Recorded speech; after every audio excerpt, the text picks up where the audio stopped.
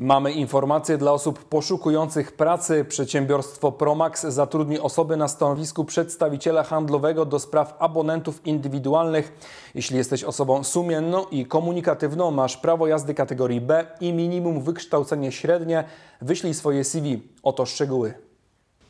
Przedsiębiorstwo Promax to firma, która już od ponad 20 lat działa na lokalnym rynku telekomunikacyjnym, dzięki czemu cieszy się dużą rozpoznawalnością.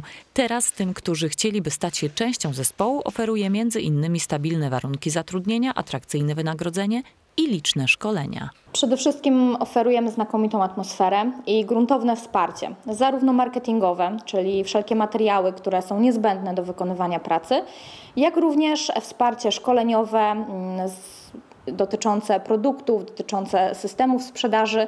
E, Myślę, że to ułatwia pracę, zwłaszcza w tych pierwszych dniach, tych najbardziej stresujących. Promax poszukuje osób z minimum średnim wykształceniem, sumiennych, komunikatywnych. Atutem będzie doświadczenie w branży oraz znajomość rynku telekomunikacyjnego.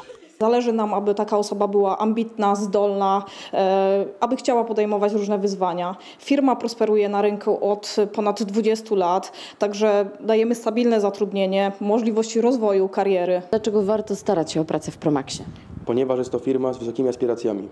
Nasza marka jest rozpoznawalna na terenie południowej Wielkopolski. Jesteśmy szanowani oraz lubiani przez klientów. CV wraz z listem motywacyjnym prosimy przesyłać na adres mailowy dział personalny małpa promax.media.pl w tytule maila wpisując nazwę stanowiska.